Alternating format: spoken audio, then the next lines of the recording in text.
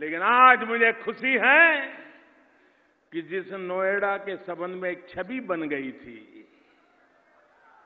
कि कोई मुख्यमंत्री यहाँ आ नहीं सकता है।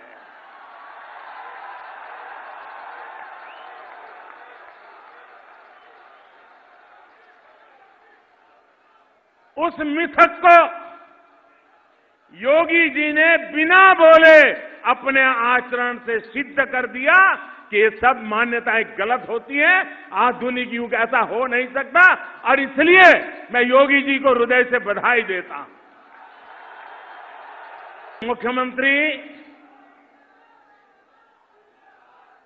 कहीं जाने से कुर्सी चली जाएगी इस डर से अगर जीते हैं तो ऐसे लोगों को मुख्यमंत्री बनने का हक ही नहीं है।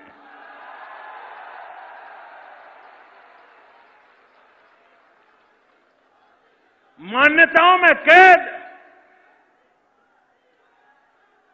कोई भी समाज प्रगति नहीं कर सकता। है हम टेक्नोलॉजी के युग में जी रहे हैं, विज्ञान के युग में जी रहे हैं। श्रद्धा का अपना स्थान होता है, लेकिन अंधश्रद्धा के लिए कहीं जगह नहीं हो सकती।